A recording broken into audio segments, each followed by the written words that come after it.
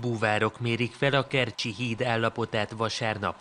Az Oroszországot a megszállt Krímmel összekötő átkelőn szombat hajnalban történt robbanás, melynek következtében az útpálya egy része a vízbe zuhant.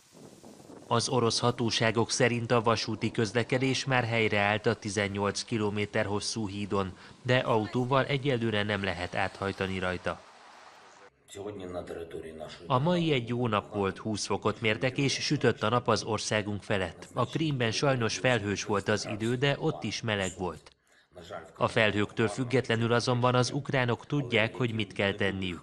A jövőnkben nem szerepelnek megszállók, sehol a területünkön, a Krímben főleg nem. Fogadkozott szombaton Volodymyr Zelenszky ukrán elnök. A Kercsi híd kulcspontosságú szerepet játszik az Ukrajnában harcoló orosz erők utánpótlásában és komoly szimbolikus jelentőséggel is bír.